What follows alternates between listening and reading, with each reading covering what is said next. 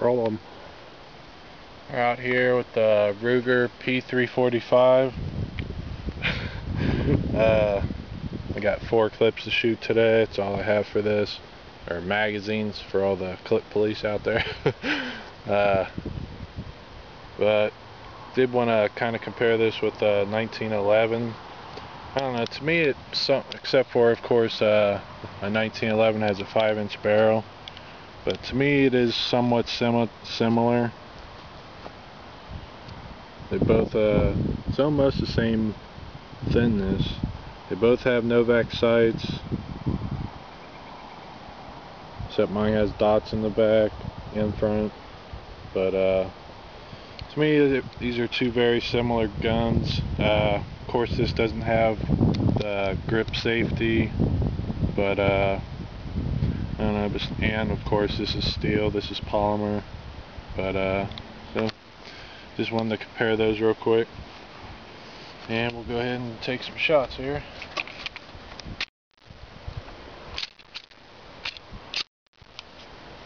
And I am shooting with uh, two mags I got with the gun, then I ordered two more from Ruger, and those two are pretty much brand new. I've never shot them before, so if we do have any jams, I'm blaming on the magazine. but shooting from about 30 feet. And I already do know that this shoots low, so it's not gonna discourage me if it that's what I see on paper.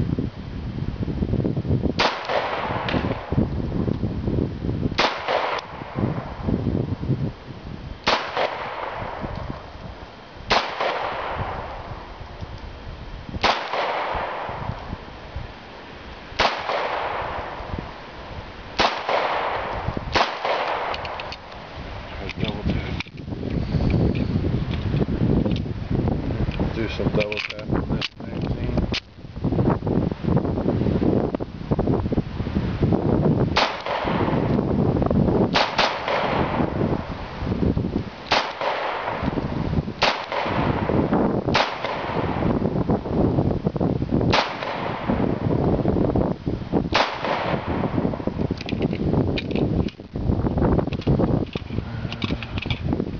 Looks like you're shooting a little low. Yeah. Expected. I got. I'll look at the target here in a second. I still love this gun. It's it's gonna hit center. It's gonna hit you know a man-sized target. It's never failed.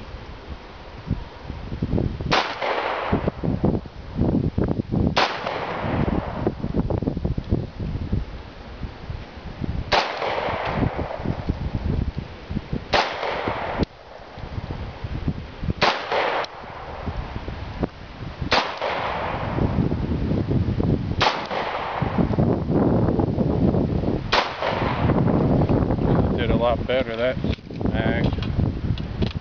Might just have to, it's been a while since I shot this gun. It does have a decent pop since it is polymer. It can't take the recoil like a 1911 can.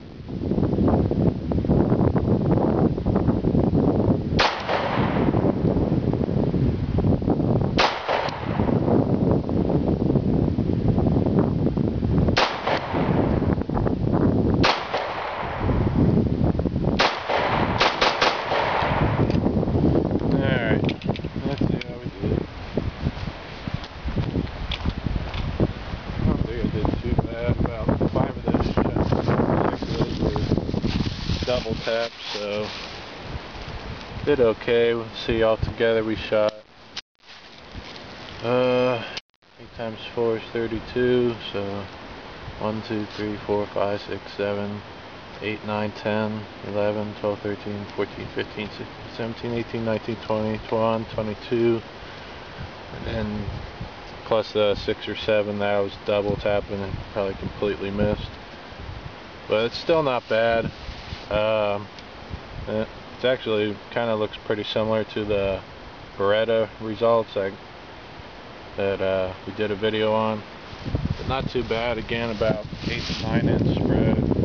Uh, I'm pretty happy with that. Yeah, I could have concentrated a little more and probably you know, did a better grouping. But it's an awesome gun. Definitely recommend this if uh, you know, you don't have the money for a 1911. Very close, and it does have the double action, of course, which is what I favor over the 1911. Not saying the 1911 is a bad gun, but I just favor the double action. All right, that's about it.